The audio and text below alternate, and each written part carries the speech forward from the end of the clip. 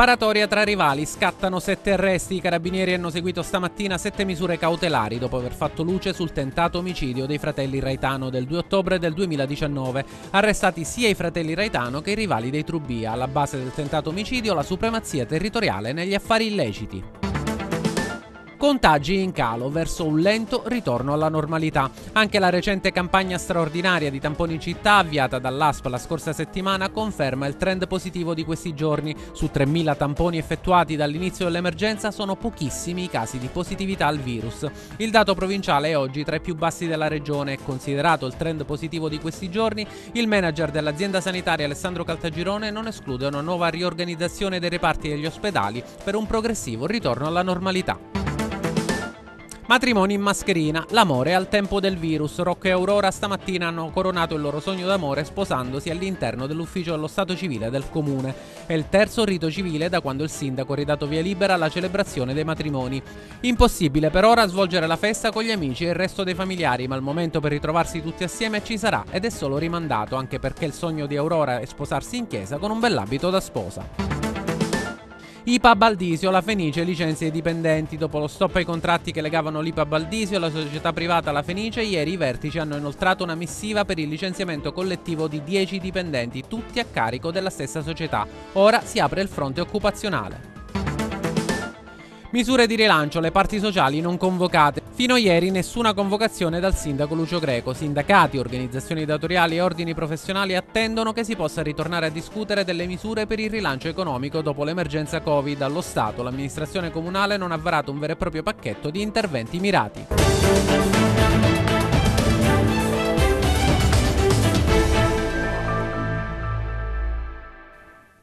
Benvenuti al consueto appuntamento con il nostro telegiornale. Apriamo il nostro notiziario con la cronaca. I carabinieri hanno eseguito stamattina sette misure cautelari dopo aver fatto luce sul tentato omicidio dei fratelli Reitano del 2 ottobre del 2019. Arrestati sia i fratelli Reitano che i rivali dei Trubia. Alla base del tentato omicidio la supremazia territoriale negli affari illeciti. Vediamo. Eseguita alle prime luci del giorno un'ordinanza di custodia cautelare nei confronti di sette persone ritenute a vario titolo coinvolte nel tentato omicidio dei fratelli Raitano commesso il 2 ottobre 2019. Su mandato della Procura di Gele, carabinieri del Comando Provinciale dei Caltanissetta hanno arrestato Antonino Raitano, Inteso Toni, Ruben Raitano, Giacomo Tuminelli, Giovanni Simonalario, Vincenzo Trubia, Giuseppe Rosario Trubia. L'indagine è stata avviata a seguito del conflitto a fuoco che ha coinvolto i fratelli Raitano e la fazione opposta dei Trubia la sera del 2 ottobre 2019 dalla sezione operativa del nucleo operativo e radiomobile di Via Venezia, sotto la direzione e il coordinamento della Procura di Gela per mezzo sia di attività tradizionali che di tipo tecnico con intercettazioni telefoniche ambientali. Grazie alle numerose acquisizioni investigative gli inquirenti sono riusciti a ricostruire allo stato delle indagini il momento del tentato omicidio scaturito dagli accesi conflitti venutisi a creare tra i destinatari della misura cautelare cautelare, tutti coinvolti nella spartizione dei proventi derivanti dalla commissione di reati contro il patrimonio, il che aveva dato avvio ad una vera e propria catena di violenza tra famiglie rivali, entrambe protese all'allargamento delle rispettive aree di influenza. Dall'inchiesta è inoltre emerso come alcuni degli indagati avessero acquisito la disponibilità di armi da fuoco. L'attività di intercettazione di tipo ambientale a carico degli indagati, nello specifico di Antonino Retano, si è rivelata essenziale per arrivare agli arresti. I soggetti coinvolti, quattro in carcere e tre domiciliari, sono chiamati a rispondere di diversi reati, tra cui quelli di tentato omicidio, rapina aggravata, detenzione e porto abusivo di armi, lesioni personali aggravate, ricettazione, favoreggiamento personale, favoreggiamento reale, minacce aggravate e violazione delle prescrizioni imposte con la sorveglianza speciale di pubblica sicurezza. E ancora la cronaca, fiamme nella notte in via Matisse, un rogo probabilmente doloso ha colpito una BMW parcheggiata nella zona. La vettura appartiene al dipendente di un'azienda, sul posto sono intervenuti i vigili del fuoco e gli agenti della polizia. La seconda azione di fuoco, dato che nella notte tra lunedì e martedì le fiamme hanno danneggiato un magazzino e dei mezzi agricoli in Contrada, Spinasanta. Adesso apriamo una pagina dedicata naturalmente all'emergenza coronavirus, come ormai facciamo da mesi, però stavolta per dare Eh, notizie confortanti, i contagi sono in calo e si va verso un ritorno lento ma progressivo alla normalità. Anche la recente campagna straordinaria di tamponi in città avviata dall'ASP la scorsa settimana conferma il trend positivo di questi giorni. Su 3.000 tamponi effettuati dall'inizio dell'emergenza sono pochissimi i casi di positività al virus. Il dato provinciale è oggi tra i più bassi della regione e considerato questo trend il manager dell'ASP Alessandro Caltagirone non esclude una nuova riorganizzazione dei reparti negli ospedali, finora dedicati esclusivamente al Covid, per un progressivo ritorno alla normalità. Vediamo. 116 tamponi in città nella tre giorni lanciata dall'ASP per recuperare chi fosse per qualsiasi motivo sfuggito allo screening post quarantena, un modo per colmare i tanti ritardi sulle analisi che hanno caratterizzato questi mesi difficili di emergenza. Dei 116 tamponi eseguiti però solo 19 erano quelli sfuggiti ai radar della regione dell'ASP, il resto erano regolarmente presenti nei registri, 116 tamponi che al momento per fortuna non hanno scoperchiato nessun caso di positività. Una campagna necessaria secondo il direttore generale dell'ASPA Alessandro Caltagirone, per mettersi in pari con le richieste di tampone da parte dei cittadini rientrati dalle regioni del nord o dall'estero e riallineare il ritardo accumulato. Noi nei tre giorni di campagna straordinaria che abbiamo fatto il 7, l'8 e il 9 maggio abbiamo fatto un totale di 116 test e eh, soltanto 19 persone non erano registrate sul portale della regione, gli altri quindi eh, avrebbero ricevuto comunque il test perché erano a nostra conoscenza. Quindi tutto sommato erano soltanto 19 le persone che eh, non, non si erano correttamente registrati sul portale. Ovviamente adesso ci saranno dei, delle ordinanze diverse da parte del Presidente della Regione, eh, è probabile che le quarantene avranno un'impostazione diversa rispetto al passato eh, noi abbiamo un, un, movimento e una coda di rientri che è veramente bassa, eh, quindi stiamo discutendo più o meno di una decina di persone che rientrano giornalmente, per cui basterebbe anche una sola volta alla settimana organizzare questi, questi screening, questi tamponi per sistemare la situazione. Diverse migliaia i tamponi effettuati a chi ha terminato la quarantena qui in città con un trend di positività al virus molto bassa. I contagi intanto si abbassano giorno dopo giorno. Il dato provinciale è oggi tra i più bassi della regione. Sul, sulle quarantene noi abbiamo fatto dai, intorno ai 3.000 tamponi eh, su soggetti che sono rientrati eh, e i positivi asintomatici sono stati veramente pochi, credo che ne abbiamo trovati eh, contati sulle dita, sulle dita, di una mano. Parlo, parlo di asintomatici perché eh, è successo anche che coloro che sono rientrati, pur essendo i cosiddetti denominati geografici, poi hanno avuto dei sintomi e quindi sono stati trattati in una maniera diversa rispetto a quelli che erano asintomatici e dovevano stare 14 giorni a casa. Riguardo invece ai numeri dei positivi in tutta la provincia nissena, in tutta l'ASP di Caltanissetta, il trend mi sembra che sia abbastanza positivo e tra i più bassi sicuramente della regione Sicilia. Sì, eh, i numeri si stanno abbassando giorno per giorno, le guarigioni stanno aumentando, eh, abbiamo detto più volte che i, i ricoveri sono veramente pochi, le terapie intensive si sono svuotate, quindi il trend è stato assolutamente positivo eh, è ovvio che tutto dipende da, dai comportamenti eh, delle persone nei prossimi giorni o quelli che hanno i comportamenti assunti a partire dal 4 maggio eh, e di questo ne vedremo gli effetti diciamo, entro una settimana, dieci giorni. Considerato il trend positivo di questi giorni, Caltagirone non esclude una nuova riorganizzazione dei reparti negli ospedali, finora dedicati esclusivamente al Covid, per un progressivo ritorno alla normalità. In questo momento stiamo tenendo ancora l'assetto organizzativo precedente, che ovviamente è sovradimensionato rispetto ai numeri che abbiamo nello stesso tempo stiamo ragionando sulla riapertura dei reparti, quindi a brevissimo, nell'arco di qualche giorno, sicuramente ci sarà una riorganizzazione dei servizi eh, in modo tale che il, le attività possano riprendere progressivamente. Io immagino comunque all'interno dei presidi più grandi eh, degli assetti organizzativi che prevedono un'area mista, cosiddetta area grigia, in cui i ricoveri arrivano lì e poi anche in virtù eh, del risultato del tampone effettuato possano essere smistati nei vari reparti in assoluta sicurezza. Continuiamo a parlare di coronavirus con una storia che vi avevamo già accennato eh, ieri, sono stati tra i primi a risultare positivi al Covid in città, nelle scorse ore marito e moglie hanno lasciato l'ospedale Vittorio Emanuele, Angelo Razza e Tiziana Barbuscia sono guariti, tutti gli accertamenti condotti in questi lunghi mesi hanno dato esito favorevole, Razza a causa delle gravi condizioni era stato collocato in terapia in intensiva, è stato il loro personale rientro finalmente dopo due tamponi negativi alla vita normale, i coniugi dimessi nelle scorse scorse ore dal reparto Covid dell'ospedale Vittorio Emanuele fanno salire a 8 il numero complessivo dei guariti in città. Allo stesso tempo non si registrano nuovi casi di positività. Situazione diversa invece a Niscemi, positivi sono risultati un operatore sanitario che lavora in un RSA fuori dalla provincia di Caltanissetta e un familiare. Sono in corso naturalmente tutte le verifiche positive anche due pazienti a Caltanissetta, 5 guariti invece si registrano a San Cataldo e uno a Campofranco. In totale sono 179 i casi riscontrati in provincia. Il trend rimane ben sotto la media, come tra l'altro sottolineava poco fa il direttore Caltagirone, e oggi non si riscontrano focolai di coronavirus che possano alimentare gravi preoccupazioni.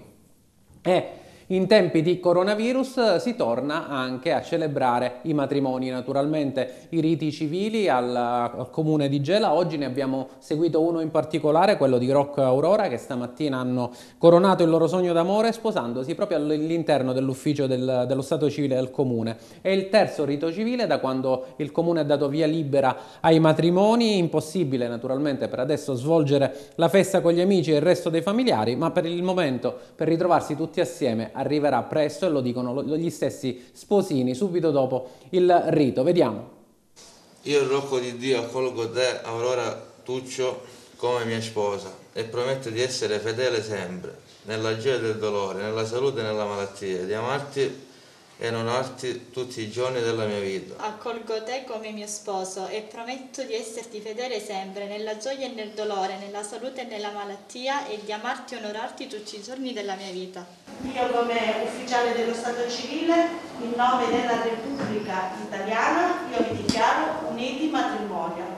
Quando l'amore batte anche la paura del coronavirus è la storia di Rocco e Aurora che hanno coronato il loro sogno di coppia sposandosi oggi all'interno dell'ufficio di stato civile del comune. È il terzo rito civile da quando il sindaco ha ridato via libera alla celebrazione dei matrimoni. Prima di loro si erano sposati anche Eleonora e Vincenzo e tra maggio e giugno ci sono altri 25 matrimoni in programma. Un sogno concreto quello di Aurora e Rocco così forte da non poter attendere anche a costo di dover fare una cerimonia per pochi intimi. Le regole anticontagio contagio infatti, nonostante siamo già entrati nella fase 2, sono ancora molto stringenti e così a Palazzo di Città erano presenti solamente i due sposi, oltre ovviamente all'ufficiale di Stato civile Concetta di Liberto e alle testimoni di nozze Jennifer e Francesca. Pochi ma buoni, come si suol dire, nonostante mascherine e distanze di sicurezza, il matrimonio di Rocco e Aurora è stato comunque indimenticabile, come ci raccontano i due novelli sposini al termine della cerimonia. Te l'aspettavi un matrimonio così con le mascherine? No, no. Assolutissimamente no. Che sensazione è stata? Diciamo un po' tristezza, però giustamente felice lo stesso perché mi sono sposata. A prescindere da questo coronavirus è bello a prescindere, sì. No, è stato bello emozionante con tutto il coronavirus e le mascherine, però sono contento lo stesso. Adesso cosa vi aspetta? Adesso vi aspetto un futuro migliore e un bambino. Come si dice in questi casi, il cuore va oltre gli ostacoli e la dimostrazione è la scelta di dirsi sì per la vita anche in questi tempi difficili. Così i due promessi sposi hanno coronato il proprio sogno d'amore durante l'emergenza sanitaria, indossando le mascherine, che però sono scivolate al momento dell'immaccabile bacio. Impossibile per ora svolgere la festa con gli amici e il resto dei familiari, ma il momento per ritrovarsi tutti assieme ci sarà ed è solo rimandato, anche perché il sogno di Aurora è sposarsi in chiesa con un bell'abito da sposa. Le chiese sono chiuse, non abbiamo potuto celebrare il matrimonio in chiesa però abbiamo fatto lo stesso il matrimonio civile per eh, comunque concludere il nostro sogno. Il prossimo anno ci sposiamo in chiesa. Per entrambi per ora è il ricordo di un mercoledì speciale dove l'amore ha vinto su tutto, anche sul virus. Cambiamo argomento, parliamo dell'IPAB al Disio, dopo lo stop ai contratti che regavano la casa di riposo e la società privata alla Fenice, ieri i vertici hanno inoltrato una missiva per il licenziamento collettivo di 10 dipendenti, tutti a carico della stessa società. Adesso si apre un pericoloso fronte occupazionale, vediamo. La scorsa settimana il commissario straordinario incaricato dalla regione ha disposto di annullare tutti gli atti che avevano consentito all'IPA Baldisio di dare in affitto strutture e servizi alla società privata La Fenice. Per il funzionario infatti nell'intero iter ci sarebbero state evidenti irregolarità. Ieri è arrivato il licenziamento dei dieci dipendenti che erano stati assunti proprio dalla Fenice. La comunicazione ufficiale firmata dall'amministratore della società, l'ingegnere Renato Mauro, è stata inoltrata non solo ai dipendenti ma anche alle organizzazioni sindacali, alla procura e ai carabinieri che stanno indagando sulla gestione, alla prefettura di Caltanissetta e all'ufficio provinciale del lavoro. Mauro nella missiva scrive di recesso dai contratti, si tratta dell'avvio della procedura di licenziamento collettivo. Non c'è più alcuna sede di lavoro lavoro, così si legge nella missiva, dato che il commissario dell'IPAB ha disposto che la Fenice lasci le strutture di Caposoprano. Il provvedimento di licenziamento e l'avvio della relativa procedura sono stati decisi con una missiva che riporta la data di ieri. Già lunedì l'UGL aveva comunicato di aver chiesto una convocazione in prefettura per valutare l'intera vicenda e il futuro dei lavoratori. Una mossa analoga è arrivata anche dal sindacato USB per un'avvertenza che però riguarda ex lavoratrici dell'IPAB che con la gestione della Fenice erano rimaste fuori dalla struttura. È proprio come sentivamo nel servizio, le quattro lavoratrici che operavano nella struttura prima dell'avvento della società privata chiedono che venga rispettato il loro diritto di prelazione. La segreteria provinciale del sindacato USB che le assiste ha deciso di scrivere al prefetto eh, Cosima Distani e a tutte le autorità coinvolte. Il segretario Luca Faraci chiede la fissazione di un incontro così da definire la posizione delle lavoratrici. Con la richiesta di incontro si fa riferimento non solo all'eventuale reintegro delle dipendenti ma anche alla copertura delle spettanze economiche ancora non ricevute ricevute ma già maturate. Tutte questioni che dovranno comunque essere affrontate. Andiamo avanti con un altro servizio, fino a ieri nessuna convocazione da parte del sindaco Lucio Greco, sindacati, organizzazioni datoriali e ordini professionali attendono che si possa ritornare a discutere delle misure per il rilancio economico dopo l'emergenza Covid. Allo Stato l'amministrazione comunale non ha varato un vero e proprio pacchetto di interventi mirati. Rosario Cauchi. Dopo il nulla di fatto della scorsa settimana, le parti sociali attendevano una nuova convocazione dal sindaco Lucio Greco. Fino a ieri però nulla è pervenuto Sindacati confederali, organizzazioni datoriali, ordini professionali si sono riuniti per cercare di capire quale posizione assumere nei confronti di un'amministrazione comunale che sulla carta avrebbe dovuto mettere sul tavolo il programma di interventi per la fase 2 e la ripresa economica di tanti comparti in crisi sempre più nera. Il vertice della scorsa settimana, privo di indicazioni vere e proprie su come intervenire a supporto di operatori e imprenditori in difficoltà, si era concluso con l'impegno a rivedersi già nel corso di questa settimana. Si ipotizzava che il tavolo potesse essere aggiornato ad oggi, ma al momento manca appunto una convocazione ufficiale da parte del primo cittadino. Lunedì la conferenza dei capigruppo consigliari ha dato il via libera ad alcune deroghe sull'occupazione del suolo pubblico che consentiranno agli esercenti di ritornare a lavorare applicando le misure anti-Covid. Sono interventi che riguardano l'immediato ma che certamente non possono essere risolutivi rispetto a quanto causato dall'emergenza Covid con aziende ed esercizi commerciali che sono rimasti fermi per mesi le proposte delle parti sociali sono state più volte avanzate, anche se ad oggi non c'è mai stato un assenso dell'amministrazione comunale. Anche la prima ipotesi sull'uso delle royalties estrattive è stata quasi subito scartata. Non ci sono certezze neanche sulla soluzione che riguarda le compensazioni ENI avanzata da una parte della maggioranza del sindaco, quella che si rifà al gruppo di una buona idea del vice sindaco Terenzano Di Stefano. Con il blocco totale e l'assenza di un vero piano di intervento, sindacati, organizzazioni datoriali e ordini professionali hanno anche sollevato il pericolo usura che potrebbe strozzare ancora di più esercenti che non riusciranno ad andare avanti. I sindacati confederali, le organizzazioni datoriali e gli ordini professionali hanno cercato di avere interlocuzioni costanti con il municipio senza esasperare i toni. L'assenza di risposte dall'amministrazione comunale però potrebbe cambiare le cose. Lungo le strade del centro storico, ma non solo, si trovano evidenti chiazze di olio di motore che sporcano e rischiano di causare danni. La segnalazione arriva nuovamente dall'associazione Area Nuova. Il presidente Saverio Di Blasi ieri ha effettuato un sopralluogo lungo corso Vittorio Emanuele, accertando la presenza di ampie chiazze sul selciato, anche come vedete da queste immagini. Nella maggior parte dei casi si tratta di tracce che vengono lasciate dai mezzi in transito, anche da quelli della raccolta rifiuti. Nessuno però finora provvede a ripulire. E ancora la cronaca, stavolta quella giudiziaria, era accusato di almeno tre episodi di violenza ai danni della moglie, l'avrebbe costretta ad avere rapporti sessuali contro la propria volontà. Ieri il GUP del Tribunale ha condannato a due, due anni e sette mesi di reclusione l'operaio finito al centro del caso giudiziario. Vediamo. Due anni e sette mesi di reclusione perché ritenuto responsabile di violenze e abusi sessuali sulla moglie. La decisione è stata emessa ieri nei confronti di un operaio trentenne. Il giudice dell'udienza preliminare Silvia Passanisi al termine del rito abbreviato ha ritenuto fondate le contestazioni avanzate dai PM della Procura. Il sostituto Mario Calabrese nel corso della requisitoria ha chiesto una condanna ancora più pesante fino a sette anni e ridotta a quattro anni e otto mesi in relazione al rito scelto dalla difesa, il legale dell'imputato, l'avvocato Maurizio Scicolone, ha nuovamente messo in discussione la versione della moglie dei PM che l'hanno sostenuta, eh, ribadendo che non ci sarebbe stata alcuna violenza, l'operaio non avrebbe mai imposto rapporti sessuali alla consorte contro la sua volontà. Secondo quanto spiegato dal legale, la denuncia sarebbe arrivata al culmine di un rapporto matrimoniale in crisi. Sono state prodotte conclusioni del tutto difformi rispetto a quanto sostenuto dall'accusa. Sotto esame sono finiti definiti anche referti ospedalieri che non avrebbero dato alcuna prova di ferite riconducibili a violenza fisica. La donna non si è costituita parte civile nel giudizio abbreviato già in fase di indagine. Lo stesso legale e l'avvocato Marzia Cammarata hanno effettuato indagini difensive per acquisire elementi a favore dell'operaio. Per la Procura però le violenze e gli abusi sono stati confermati anche da quanto sostenuto dalla vittima. Lo scorso anno l'imputato venne arrestato e sottoposto a detenzione in carcere anche se successivamente la misura venne revocata.